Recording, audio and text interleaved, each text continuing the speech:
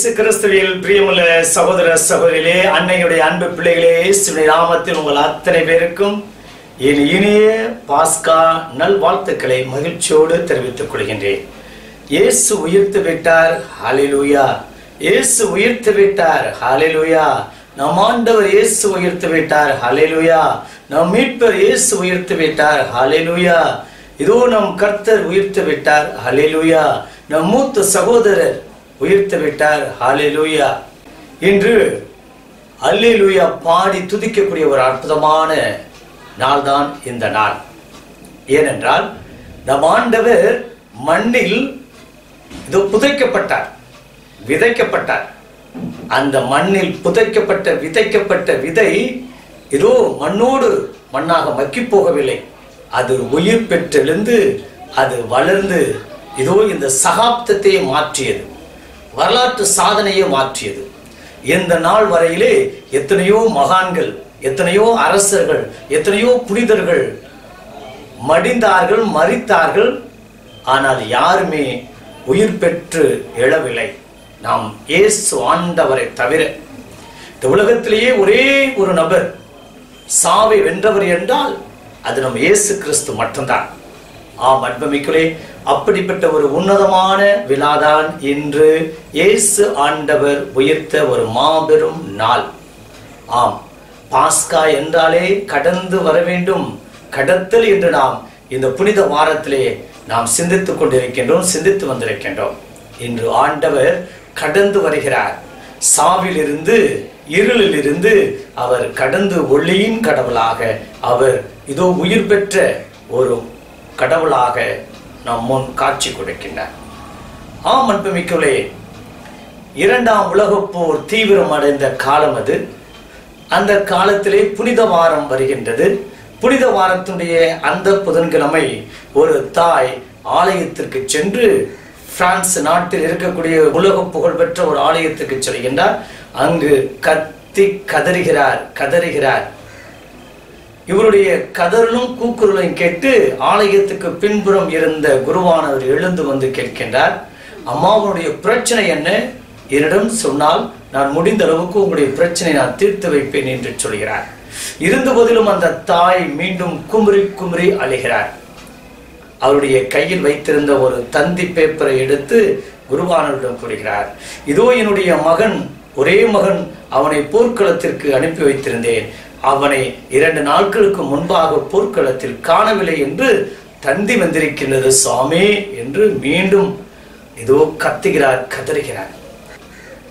எப்படி அந்த பெண்மணிக்கு ஆறுதல் சொல்வதே என்று தெரியாது புரியாது திகைத்து போய்விட்டார் இருந்த போதிலும் ஆறுதல் சொல்லி அம்மா கவலைப்படாதே உன் மகன் கண்டிப்பாக கிடைத்து விடுவான். நான் அவனுக்காக ஜெபிக்கிறேன் என்று சொல்லி ஆறுதல் சொல்லி அனுப்பிவிட்டார். அடுத்த நாள் பெரிய வியாழக்கிழமை பெரிய வியாழக்கிழமையும் முன்பகுதியிலே இருக்கையிலே அமர்ந்து கண்ணீரோடு ஜெபிக்கின்றார் ஜெபிக்கின்றார். குருவானவரும் அந்த மகனுக்காக இதோ அந்த காணாமல் போன அந்த படைவீரருக்காக அவருடைய ஜெபத்திலே ஒப்பு கொடுக்கின்றார் ஜெபிக்கின்றார். ஆறுதல் சொல்லி வீடு அனுப்புகிறார். அடுத்த நாள் பெரிய வெள்ளிக்கிழமை நடக்கக்கூடிய சடங்கிலும் அந்த தாய் கண்ணீரோடு ஜெபிக்கின்றார் கதறுகிறார் வேண்டுகிறார். என்னுடைய ஒரே மகன் ஏதோ இராணுவத்திற்காக அனுப்பிய மகனை காணவில்லையே. ஒருவேளை அந்த இராணுவ ஏதோ போர்க்களத்தில் இறந்து விட்டானா? என்றெல்லாம் பலதரப்பட்ட கவலையிலே குமுறி அழுகிறார். இன்னும் செல்கின்றார் அடுத்த நாள் ஏதோ புனித சனிக்கிழமை பாஸ்கா நிகழ்வுக்காக ஆலயத்தில் பல தயாரிப்புகள் நடைபெற்றுக் கொண்டிருக்கின்றது. அந்த வேலையிலே குருவானவர் ஆலயத்திற்குள் நடக்கக்கூடிய அந்த பணிகளை எல்லாம் அந்த வேலைகளை எல்லாம் சரிபார்ப்பதற்காக இதோ அங்கு வந்தார். அப்போது அதே தாய் அந்த இடத்துல மண்டிகிட்டு செபித்துக் கொண்டிருக்கிறார். ஆனால் இப்போது அவருடைய முகத்தில் சோகம் இல்லை அவருடைய முகத்தில் கண்ணீர் இல்லை. அவர் முகத்திலே துக்கம் காணவில்லை. மாறாக சந்தோஷம் நிறைந்தவராக இருக்கிறார். ஓடி வந்து ஃபாதர் ஏதோ என்னுடைய மகன் காணாமல் போயிருந்தான். ஆனால் அவன் அவன் கண்டுபிடிக்கப்பட்டு விட்டார்கள். அவன் உயிரோடு இருக்கிறான் என்று இன்னொரு தந்தை என்னிடம் வந்திருக்கிறது. படித்து பாருங்கள் என்று கூறி கூறுகின்றார். ஆம் அன்புமிக்கலை குருவானவர் வாசித்து பார்க்கிறார். இதோ அந்த காணாம போன மகன் மீண்டும் கிடைக்கப்பட்டிருக்கின்றார். ஒருவேளை இறந்து போயிருப்பான் என்ற நிலையில் நினைத்துக் கொண்டிருந்த மகன் உயிரோடு இருக்கின்றான் என்ற ஒரு மாபெரும் நற்செய்தி. ஆம் அன்புமிக்கலே குருவானவர் அந்த தாயை பார்த்து சொன்னார் அம்மா பாஸ்கா என்றாலே அது உங்களுக்கு உயிர்த்த ஆண்டவருடைய பெருவிழா கொண்டாடுவதுடைய அர்த்தமே உங்களுடைய மகன். ஏதோ உயிர் பெற்று விட்டார்.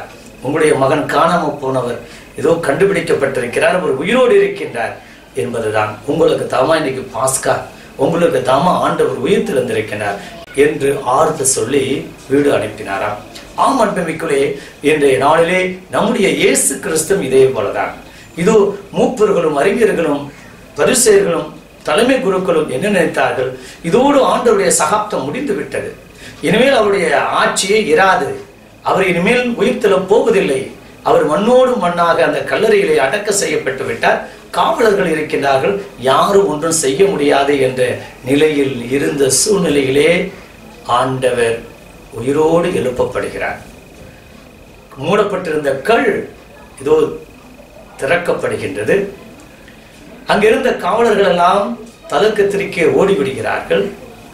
இதோ அங்கு பார்ப்பது முதலிலே வெறுமையான கல்லறை. இந்த வெறுமையான கல்லறையை ஆண்டவர் உயிர் திறந்து விட்டார் என்பதற்கு ஒரு மாபெரும் சாட்சியாக இருக்கின்றது. இந்த பெருமையாக இருக்கக்கூடிய கல்லறையை மகுதலே மரியாவும் ஒரு சில பெண்களும் அங்கு சென்று பார்க்கின்றார்கள் அங்கு இதோ அங்கு தலமாட்டிலே துணிகள் சுருட்டப்பட்டிருப்பதையும் காவல் தூதர்கள் இருப்பதையும் அங்கு வெறும் கல்லறை இருப்பதை பார்க்கிறார்கள். ஆம் அன்புமிக்கவே அடக்கம் செய்யப்பட்டிருந்த கல்லறை வெறும் கல்லறையாக அவர்கள் பார்க்கிறார்கள். அப்படி என்றால் கடவுள் அங்கு இல்லை. அவர் உயிர்த்து விட்டார். அடக்க செய்யப்பட்டிருந்த நம்முடைய இயேசு உயிர்த்து விட்டார் என்பதற்கு ஒரு அருமையான சாட்சியம். ஆமன்மைக்குள்ள இரண்டாவது சாட்சியம் இதோ இந்த திருத்தூதர்கள் இரண்டாவது சாட்சியாக இருக்கிறார்கள். இரண்டாவது ஆண்டவர் வைத்து விட்டார் என்பதற்கு இந்த திருத்தூதர்களை சாட்சியம். ஆம் அன்பமைக்குள்ளே அருமையாக பேதுரு அருமையாக சொல்கிறார். இதோ ஆண்டவர் நல்லது செய்து வந்தார் அற்புதங்கள் செய்து வந்தார் ஆனால் இந்த மூப்பர்களும் சது- தலைமை குருக்களும் அவரை இதோ சிலுவையில் அறைந்து கொண்டார்கள். ஆனால் அவர் உயிர் தெரிந்து விட்டார் என்பதற்கு நாங்களே சாட்சியங்கள் நாங்களே சாட்சி என்று கூறுகிறார். ஆம் அன்புமிக்குள்ளே நாங்களே சாட்சியம். கண்ணார நாங்கள் பார்த்திருக்கிறோம் என்பதுதான். ஆம் அன்புமிக்குள்ளே இன்றைய நாளில் ஆண்டவர் உயிர்த்து விட்டார் என்று அறிந்தவர்கள் புரிந்தவர்கள் முதல் சாட்சியே அந்த காவலர்கள் தான் காவலர்கள் ஆண்டவர் உயிர்த்திருந்ததை கண்ணார கண்டார்கள் பார்த்தார்கள். ஆம். அது மட்டுமல்ல அவர்கள் சென்று தலைமை குருக்களிடமும் பரிசேரும் சென்று இந்த நிகழ்வை சொல்கிறார்கள். அவர்கள் நினைத்திருந்தால் அவர்கள் இதோ அதை ஏற்றுக்கொண்டிருக்கலாம். அவர்களுக்கு தான் உண்மையை தெரியும். அவர்கள் தான் அந்த முதல் தகவல் அறிக்கையை தயாரித்திருக்கலாம். ஆண்டவர் உயிர்த்து விட்டார் என்று. ஆம் அன்புமிக்குலே ஒருவேளை அப்படி அவர்கள் நம்பியிருந்தார்கள் என்றால் இதோ அவர்களுக்கு அத்தனை பேருக்கும் புனிதர் பட்டம் கூட கிடைத்திருக்க வாய்ப்புண்டு. புனித கயப்பா புனித தலைமை குரு அல்லது புனித காவலர்கள் என்று கூட நாம் சொல்லியிருக்கலாம். ஆனால் அவர்கள் அந்த சாட்சியத்தை மறைக்க முன்வந்தார்கள். மறுக்க முன் வந்தார்களே தவிர அந்த உண்மையை ஏற்றுக்கொள்ள மனம் இல்லை. ஏனென்றால் அவர்கள்தானே பொய்க்குற்றம் சுமத்தி ஆண்டவரை கொண்டார்கள் பொய்க்குற்றம் சுமத்தி அவருக்கு தண்டனை பெற்றுக் கொடுத்த பிறகு அவர் உயிர்த்து விட்டார். அவர்தான் மெஸ்ஸியா அவர்தான் இசையா சொன்ன தீர்க்க தரிசி அல்லது வர இருக்கக்கூடிய மெஸ்ஸியா என்று எப்படி அவர்களால் ஏற்றுக்கொள்ள முடியும்? உண்மையை அறிந்தும் அவர்கள் மறுத்தார்கள். அங்கு சாட்சியங்கள் மறைக்கப்பட்டன. அந்த காவலர்களுக்கு அவர்கள் பணம் கொடுத்து இதை யாரிடமும் சொல்ல வேண்டாம் என்று சொல்கிறார்கள். அப்போ ஆண்டவர் உயிர்த்தார் என்பதற்கு முதல் சாட்சி யார் என்றால் காவலர்கள். அதற்கு பிறகு இதோ தலைமை குருக்களும் மூப்பர்களும் அறிஞர்களும் பரிசேர்களும் இதுதான் உண்மை. இந்த உண்மை சம்பவத்தை மறைத்தார்கள். மூன்றாவதாக நம்ம பார்க்கிறோம் இயேசு கிறிஸ்து உயிர்த்து விட்டார் என்பதற்கு நாங்களே சாட்சிகள் என்று பேதுரு எதை சொல்கிறார்? இதோ நாங்கள் அவர் உயிர்த்து விட்டார் என்பதை நாங்கள் பார்த்தோம் அதை அறிவித்தோம். அவருக்காக நாங்கள் எங்களுடைய உயிரையும் தியாகம் செய்கின்றோம். ஆம் அன்புமிகளே திருத்தூதர்கள் அத்தனை பேரும் அதற்கு சாட்சி. மகதிலே மரியாவுக்கு தோட்டக்காரராக காட்சி கொடுக்கின்றார். எமோஸ் சீடர்களுக்கு இதோ அங்கு காட்சி கொடுத்து மறைகிறார். அடுத்தது இதோ சீடர்களுக்கு காட்சி கொடுத்து எருசலேம் நகரத்திலே காட்சி கொடுத்து அவர் மறைகின்றார். அவர் அவர்களை திடப்படுத்துவதற்காக.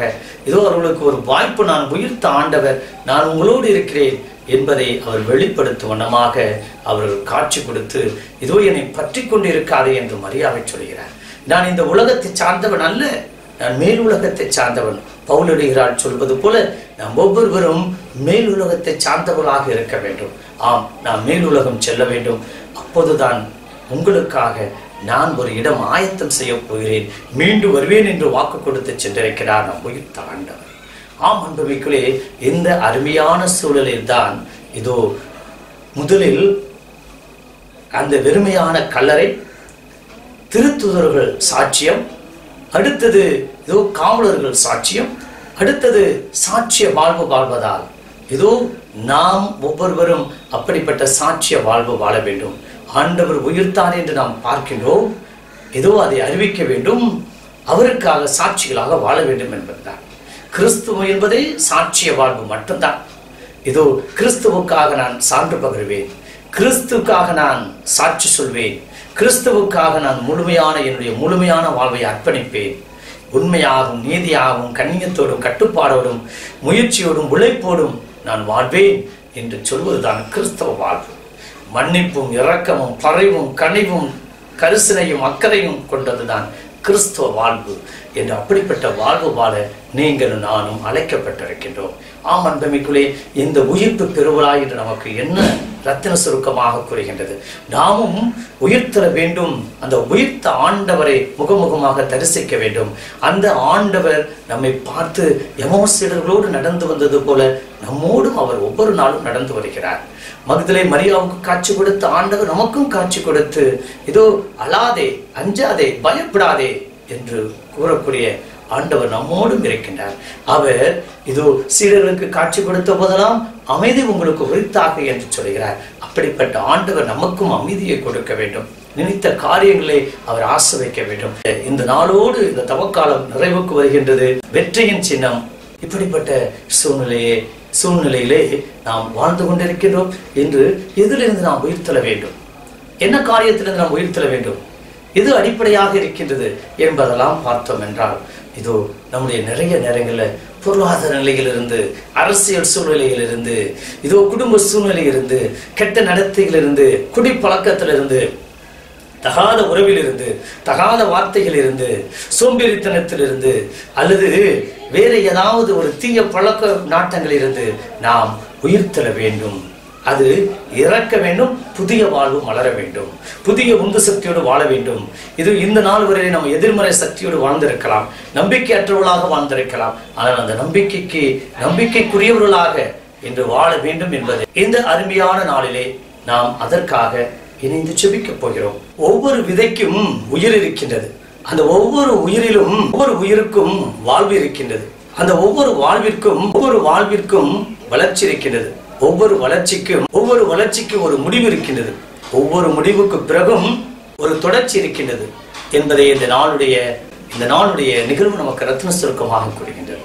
ஆம் அன்புமைக்குள்ளே அப்படிப்பட்ட வாழ்வு வாழ இதோ இந்த பாஸ்கா நமக்கு ஒரு அர்த்தமுள்ளதாக இந்த நாற்பது நாட்கள் நாம் தவம் உண்டு. உண்ணா நோம்பிருந்து தான தர்மம் செய்து நம் ஒருத்தரோடு உணவு கட்டுப்பாடோடு மன கட்டுப்பாடோடு உடல் கட்டுப்பாடோடு நாம் வாழ்ந்திருக்கின்றோம். கண்டிப்பாக என்னுடைய பேருடன் ஆசுவாதம் நமக்கு நம்முடைய பிள்ளைகளுக்கும் பேர குழந்தைகளுக்கும் குடும்பத்தில் இருக்கக்கூடிய அத்தனை நபர்கள் கண்டிப்பாக ஏதோ இந்த உயிர் தாண்டவர் உடன் இருக்கின்றார் அமைதியை தருகின்றார் சந்தோஷத்தை தருகிறார் ஒரு நிறைவை தருகிறார் ஒரு ஏதோ மறுமலர்ச்சியை தருகிறார் புதிய மாற்றத்தை கொடுக்கின்றார் என்ற அப்படிப்பட்ட உணர்வோடு வாழ இதோ நாம் தொடர்ந்து பயணிப்போம். இந்த ஆண்டினுடைய பாஸ்கா தவக்காலம் முடிந்து விட்டது என்பதல்ல ஒவ்வொரு நாளும் திருப்பலியில பங்கேற்கின்ற போதெல்லாம் ஆண்டவருடைய பாடுகளையும் ஆண்டவருடைய அந்த கல்வாரி பயணத்தையும் அவர் பலியாக பலி பொருளாக பலி செலுத்துவராக ஒப்பு கொடுத்த இந்த அருமையான திருப்பலி தான் நமக்கு அவ்வப்போது நினைவூட்டுகின்றது. ஆண்டுடைய பாடுகளும் இறப்பும் உயிர்ப்பும் வேண்டும் மறுவாழ்வை குறிப்பது தான் திருப்பலி. திருப்பலியிலே எட்டு அபிஷேகங்கள் உண்டு எட்டு வகையான ஆசீர்வாதங்கள் உண்டு என்ற அப்படிப்பட்ட மனநிறைவோடு வாழ தொடர்ந்து நாம் பயணிப்போம். உயிர்த்த ஆண்டவருடைய பெருவிழா நல்வாழ்த்துக்களை மகிழ்ச்சியோடு உங்களுக்கு தெரிவித்துக் கொள்கிறேன். ஹாப்பி ஈஸ்டர் இயேசு ஆண்டவர் உயிர்த்து விட்டார். Hallelujah hallelujah hallelujah